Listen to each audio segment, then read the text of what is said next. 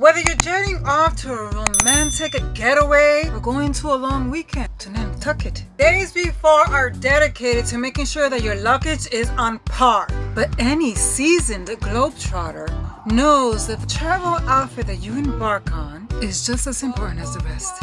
Striking the right balance can be difficult. If you're anything like me, you want your travel outfits to be as simple and comfortable, but still be polished and chic. My selection ahead, you'll find the best outfits for long haul travel flights, travel outfits for new moms, and business trips. Your next airport outfit doesn't have to sacrifice style for comfort. Here's the. Let's get into it, bitches. Traveling to faraway places is exciting. You can land on another hemisphere, continent, world. but the worst thing of it all is when you are in uncomfortable clothing for a long period of time. That's why you should opt for things that are super loose super stretchy, super comfortable and breathable if you start sweating and things that you can take off and on in the event that you are getting cold. And these are the things that you want to keep in mind when you are in it for the long haul for a trip. Think elasticated, elasticated, elasticated waistbands, soft fabrics, and buildable cozy layers. When I say soft fabrics, I'm thinking more like alpaca, maybe even wool, depending where you're going, because wool is actually a breathable fabric. It also can keep you warm, but it could also keep you comfortable. Cashmere, cotton, cardigans are a best bet. If I'm in the airport, I'm always cold, so I love to throw over a cardigan because it's the simplest thing. You just literally throw it over and then take it off as you get hot or uncomfortable. And I can hide under it. I can like stretch. I can put my legs on top of my boyfriend. I can do whatever I want and still be comfortable. and rest assured that I do that a lot on flights. I'm like literally all over him to the point where you don't see him.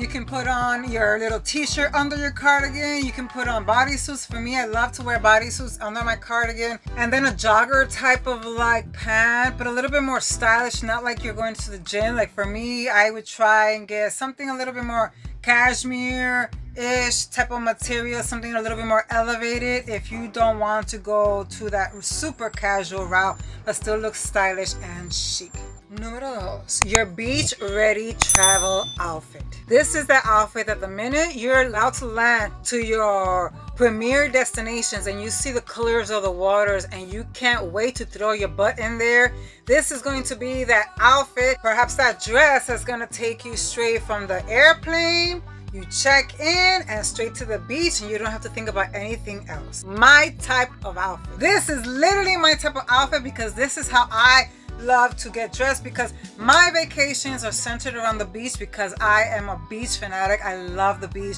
So this one is one that I really know very well and that would be a maxi dress. A maxi dress, I always wear my bathing suit under. All I need to do is take out my beach hat, wear my sunglasses, my beach bag, and go straight to the beach. Once the wiser, you look stylish, chic, you're ready to go, you didn't waste no time. I'm the type of person that I can be high maintenance, but I'm the most laziest high maintenance person. I like to have my things ready to go so that I don't dilly-dally and waste more time. And when it comes to me getting my footsies inside a beach, I really don't like to waste any time. So I am going to maximize my time and put on my dress that knitted dress that is going to take me straight to the beach. And once I get there, I just take it off and run into the water. Ah! I mean, it doesn't get better than that, right?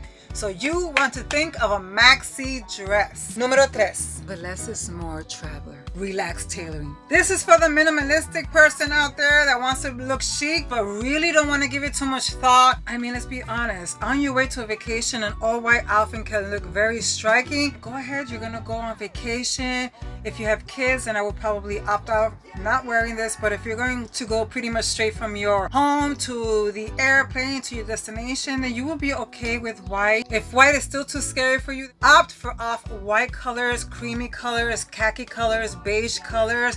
Very minimalistic, very beautiful, very modern, very contemporary, very chic, stylish and comfortable. Think soft fabrics, tailoring type of like maybe slacks, but not like your business casual slack, more like your relaxed fit with your little t-shirt. For me, I would wear it maybe with a little crop top or even like a bodysuit because I'm comfortable with things like that. It will be a looser type of fit on your pants and therefore you can stretch, you know, turn into a pretzel if you're like me on a long flight and still look uber stylish. I'm approved travel outfit. This is pretty much button down and jeans, but you want to go for a looser fitted jeans. Maybe your mom type of jeans or like a softer fabric type of jeans. Something that you're super comfortable in that is not restricted, it's not hip huggers.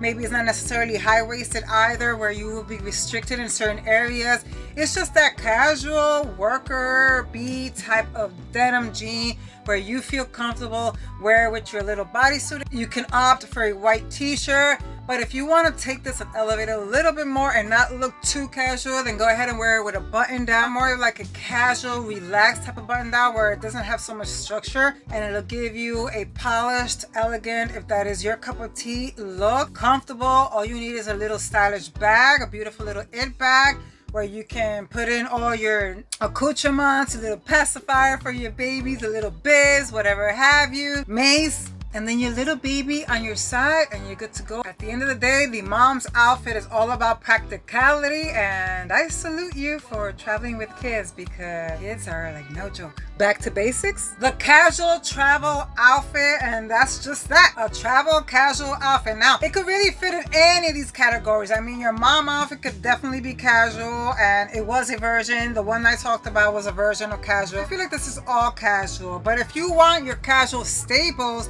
like your t-shirt and jeans you can never go wrong with something like that. If this is your cup of tea if you're like that girl next door that loves things like this then opt for the white tee and jeans. There's nothing wrong with that. If this is what you're comfortable in then that's what counts here. This is what you want to wear for your travel outfit your denim jeans and your t-shirt with your flat sandals or kitten heel. It just depends what mood I'm in and where I'm traveling to and if like the travel destination actually inspires me. That all plays a role for me, but don't opt out or don't get scared or think that uh, a pair of jeans, a good old-fashioned pair of jeans with a t-shirt uh, is outdated because something like this, I don't feel like it will ever really be outdated. Ultimo, and what is going on with this?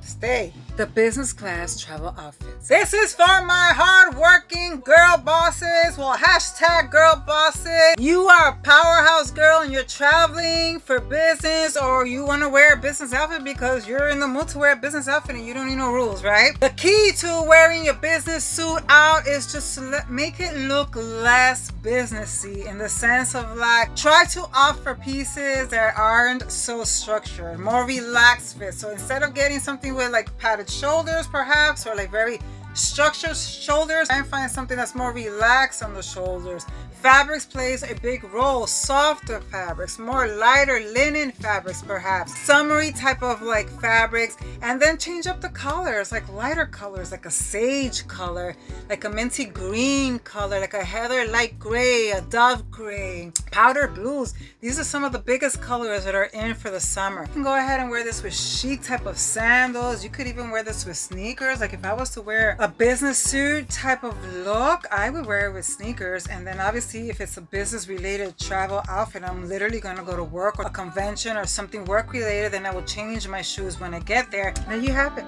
The next time you're traveling, you will know what to wear. Don't forget to like this video, subscribe for more fashion mayhem, hit the notification bell so you won't miss out on my next video.